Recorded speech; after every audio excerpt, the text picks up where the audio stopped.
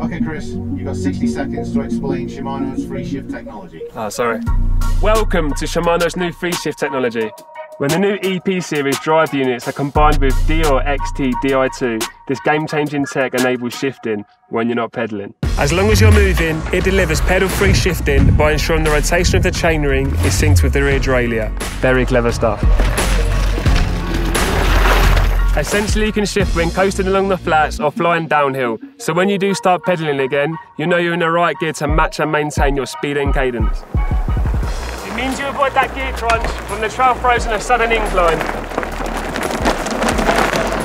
Pedal strikes when shifting on techie sections are a thing of the past. Pedals can stay level and your balance censored for even better bike handling. If you're riding the new EP Series drive units and have shifting powered by Di2, there are two ways you can control all this. Automatically, which is all managed by the STEPS and Di2 system, or straight up manually.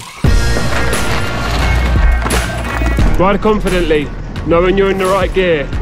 Keep your eyes on the trail and enjoy the ride. How am I doing for time? Did I make it?